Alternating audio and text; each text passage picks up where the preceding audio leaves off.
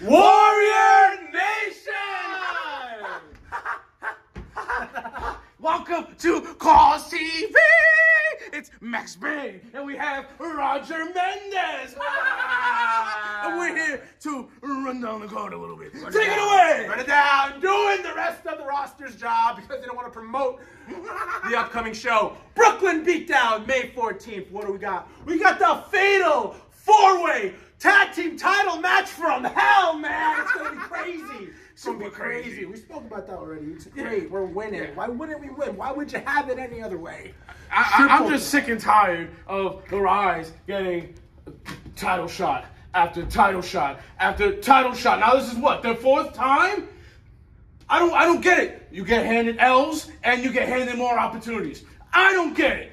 Continue. that kind of brings it back to what your dad, Joey Ace, said about Joe Casio.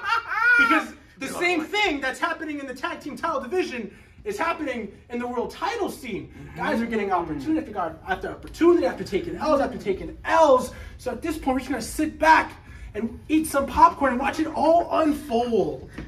right? Yo, we got a Bullet Club member. Cody Hall's coming in. Ooh, too sweet.